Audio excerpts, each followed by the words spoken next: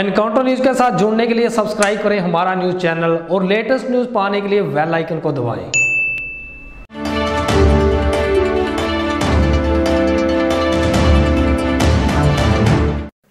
आदमपुर में अकाली दल भाजपा की बहुत बड़ी रैली हुई, जिसमें यूथ अकाली दल के रविंदर सिंह मर्दाना भारी समूह के साथ पहुँचे। और लोकसभा हलके के श्रोमणी अकाली दल और भारतीय जनता पार्टी के साझे उम्मीदवार चरणजीत सिंह अटवाल, सरदार सुखबीर सिंह बादल और हल्का विधायक पवन कुमार टीनू विशेष तौर पर उपस्थित हुए। एनकाउंटर न्यू आदमपुर से गणेश शर्मा की रिपोर्ट।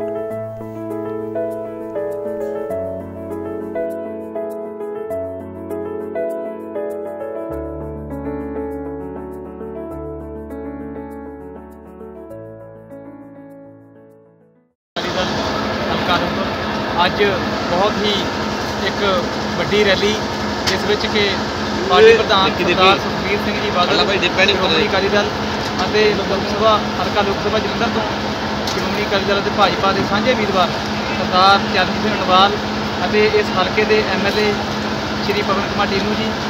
ਉਹਨਾਂ ਦੀ ਸਰਪ੍ਰਸਤੀ ਵਿੱਚ ਉਹਨਾਂ ਦੀ ਯੋਗ ਅਗਵਾਈ ਦੇ ਵਿੱਚ ਇੱਕ ਬਹੁਤ ਹੀ ਵੱਡੀ ਰੈਲੀ ਕਰਵਾਈ ਗਈ ਜਿਸ ਵਿੱਚ ਬਹੁਤ ਹੀ ਜ਼ਿਆਦਾ ਸੰਗਤ ਨੇ ਉਤਸ਼ਾਹ ਦਿੱਤਾ। ਔਰ ਇਸ ਵੱਡੀ ਗਿਣਤੀ ਨੂੰ ਕਾਮਯਾਬ ਕਰਨ ਲਈ ਵਿੱਚ ਯੂਥ ਅਕਾਲੀ ਦਲ ਦੇ ਵਰਕਰਾਂ ਨੇ, ਪਾਰਟੀ ਦੇ ਅਹੁਦੇਦਾਰਾਂ ਨੇ, ਪੰਚ ਸਰਪੰਚ ਦੰਬਰਦਾਰਾਂ ਨੇ ਅਤੇ ਅਨੇਕਾਂ ਬੀਬੀਆਂ ਨੇ, ਮਾਈਆਂ ਨੇ ਆ ਕੇ ਬਹੁਤ ਭਾਰੀ ਗਿਣਤੀ ਵਿੱਚ ਸ਼ਿਰਕਤ ਕੀਤੀ।